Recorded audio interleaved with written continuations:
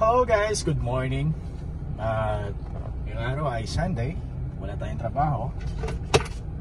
At meron tayong counting bakasyon. So, kailangan bigyan natin natin sarili ng pahinga. Mag-enjoy.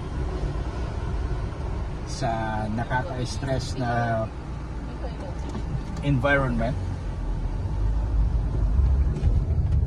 dahil sa pandemic na to. planning to uh, travel today to uh, outside Bangkok. So, dagat muna tayo ngayon. Spending for about two nights. See you in Wahin!